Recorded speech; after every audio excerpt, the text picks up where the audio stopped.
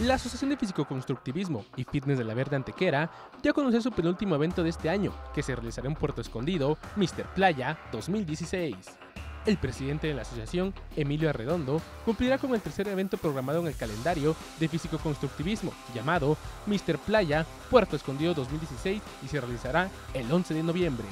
El regional abierto se espera se pueda realizar en la playa Cicatela. El peaje y las inscripciones serán de 4 a 5 de la tarde para que al siguiente día se comience con la competencia de músculos.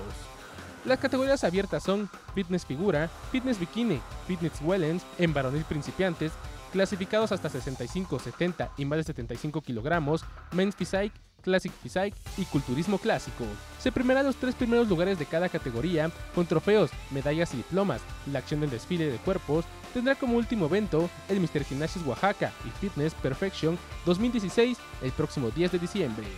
Para MBM Deportes, Jair Toledo.